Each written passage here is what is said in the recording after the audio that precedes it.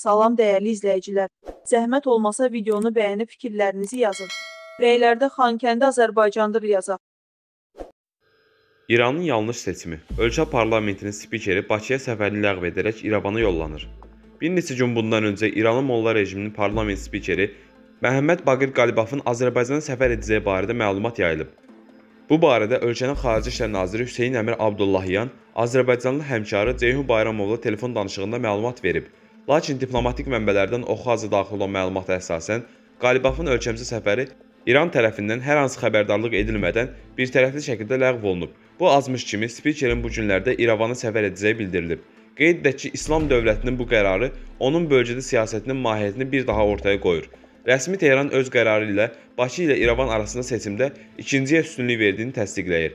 Bununla da cənub qonşumuzun teokratik hakimiyyəti Azərbaycana qarşı münasibətdə növbəti dəfə əsl simasını göstərmiş oldu.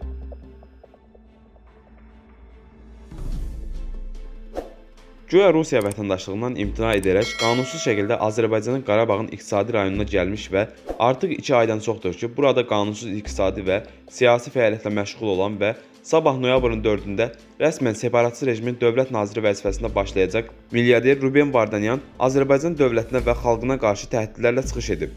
Yeni Sabah xəbər verir ki, Ruben Vardanyan belə fikirləri Qarabağda Gəncəsər məbədinin həyətində Rusiyanın məşhur Kommersant nəşrində müsahibəsində Qarabağın qondarma statusu haqqında danışarkən söyləyib. Qarabağın statusu onunla müəyyən edilir ki, hətta beynəlxalq hüquqa uyğun olaraq tam müəyyən edilməsə belə, status quo-nun qorunub saxlanması aydın başa düşülməli və qəbul edilməlidir. Həm Azərbaycan rəhbərliyi, həm də Azərbaycan xalqı tərəfindən qəbul edilməlidir. Artsaq xalqını məhv etmək cəhdi, bunu hərbi yolla həyata keçirmək cəhdi Azərbaycana baha başa gələcək həm birbaşa qurbanlar baxımından, həm də beynəlxalq məkanda itkilər baxımından, həm də bütün bunların bumeranq effekti verməsi baxımından. Belə çıxışlar nə qədər çox etsən, onlar bir o qədər sənə doğru qayıdır. Mən qorxutmuram və nə iləsə təhdid etməyə çalışan adama bənzəmək istəmirəm. Bu tarixdir. Sadəcə tarixi oxumaq və başa düşmək lazımdır ki, bütün bunlar heç kim üçün izsiz keçmir. Erməni milyarder belə deyib.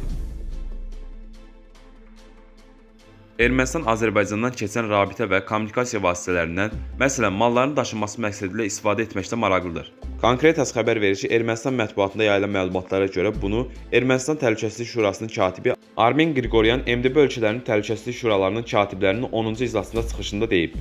Qriqoryan qeyd edib ki, İrəvan regionda kommunikasiyaların açılması məsələsinin real həllində maraqlıdır. Eləcə də Azərbaycan, Ermənistan və Rusiya baş nazirlərinin müavinlərinin birgə sədrlik etdiyi üçtərəfli işçi qrupunun fəaliyyətini dəstəkləyir. Ermənistan Azərbaycanla münasibətləri normallaşdırmaq üçün səylər göstərir.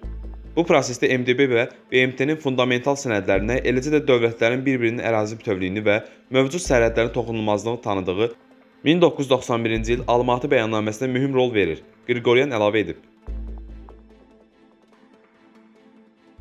Qüdrətli İran sərhəd dəyişikliklərinə heç vaxt dözməyəcək. Bu barədə İran İslam Respublikası parlamentinin deputatlarının bəyanatında deyilir. İranlı deputatlar Azərbaycana xoş gəlməyə çalışıblar. Qüdrətli İran sərhəd dəyişikliklərinə heç vaxt dözməyəcək. İran İslam Respublikasının silahlı qüvvələri, xüsusən də güclü İslam İnqilabı Keşikçilərinin korpusu bütün sərhəd hərəkətlərini nəzarət edir. Onlar region ölkələrində qeyri-sabitlik və gərginliyə səbəb olan amillərə və fikir ayrılıqlarına qarşı durmağa hazırdırlar. İslam İnqilabı Keşikçilərinin Korpusunun quru qoşunlarının əsas təliminin aydın mesajı qonşu ölkələr üçün sülh, sabit təhlükəsizlik, eləcə də düşmənlərə xəbərdarlıq, ölkə sərhədlərinin təhlükəsizliyini müdafiə etməyə hazır olduqlarını bəyan etmək, regiondan kənar ölkələrin və rejimlərin mümkün müdaxiləsinə təhdid edən sui-qəsdlərə qəti cavab verməkdir. Bəyanatda deyilir. Soçidə keçirilən üçtərəfli görüşdən sonra Ermənistan parlamentində çıxış edən Ermənistanın baş naziri Nikol Paşinyan görüşün bir sıra detallarını açıqlayıb. O bildirib ki, görüş zamanı Rusiya sülh məramlarının Qarabağda qalma müddətinin 5, 15, 20 il uzadılmasını təklif edib. Onun sözlərinə görə bu təklif qəbul edilməyib. Ancaq qeyd etməliyəm ki, mənim fikrimcə məsələ gündəm məsələsinə çevrilib, deyə Paşinyan bildirib. Soç görüşünün nəticələrinə görə Paşinyan sülh gündəliyinin həyata keçirilməsi istiqamətində çox mühüm addım atıldığını qeyd edib. Görüşü faydalı və vacib adlandırıb. Onun sözlərinə görə görüşün həm qapalı, həm də açıq hissəsində mühüm suallar qaldırılıb. Müzakirələr gedir. Rusiyanın konsepsiyası yox, Rusiyanın təklifləri var və Ermənistan hakimiyyətinin addımlarını şərti desək, Rusiya konsepsiyası ilə ziddiyyətli təşkil etdiyi görüntüsü yaratmağa cəhd edilir. Bu əlbəttə ki, belə deyil, deyə Paşinyan bildirib. Üçtərəfli danışıqlar zamanı Paşinyanın sözlərinə görə erməni tərəfi Soçi üçtərəfli bəyannaməsi zamanı Rusiyanın məlum təkliflərinə istinad edilməsini təkid edib. Soçi danışıqlarından sonra Paşinyan dünyaya Rusiyanın sülh gündəmini yeritdiyini nümayiş etdirir. Kontekstdən belə güman etmək olar ki, Ermənistan tərəfi onların tələblərinin qismən yerinə yetirilmədiyini hesab edir. Anti-Rusiya siyasətinin lideri statusunu dağıtmaq üçün Paşinyan hətta Soçidə Rus sülh məramlarının missiyasının qeyri-müəyyən müddətə uzadılmasını təklif etdiyini açıqladı. Lakin bu təklif rədd edildi.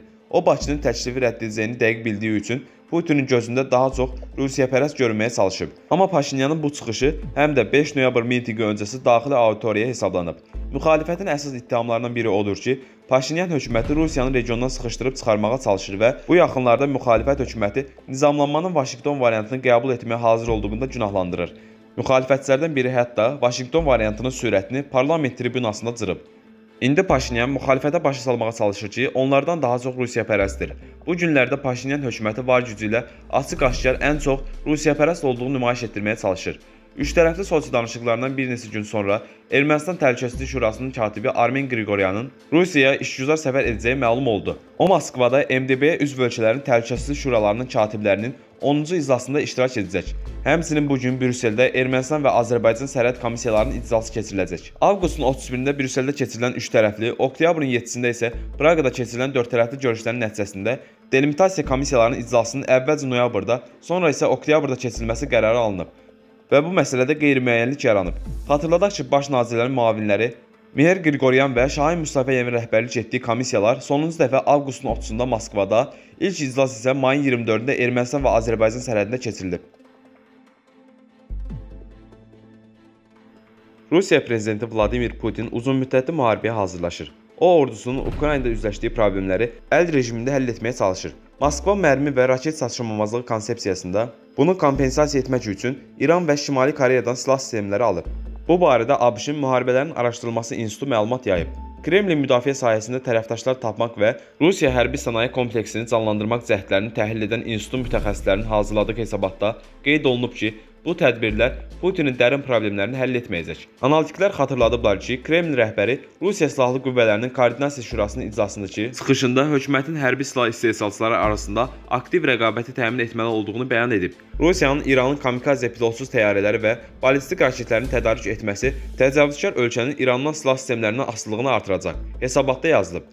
Ekspertlər qeyd ediblər ki, Moskvanın uzun illərdir sərt sanksiyalar altında olan dövlətlərdən silah tədarükündən asılı qalması isə Rusiya sənayesinin ordunun ehtiyaclarını operativ şəkildə tez bir zamanda ödəyə bilməyəcəyindən xəbər verir. İndi Putinin əsas tərəfdaşı yalnız Belarusdur.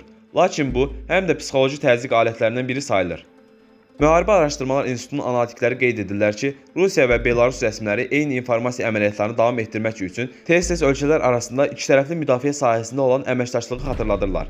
Məsələn, Belarus Ukraynaya qarşı müharibəyə qoşula bilər iddiaları. Lakin analitiklər belə bir ssenarinin mümkün olmadığını düşünürlər. Bununla belə Putin və Lukashenko bircə ittifaq fəaliyyətini nümayiş etdirməkdə davam edirlər.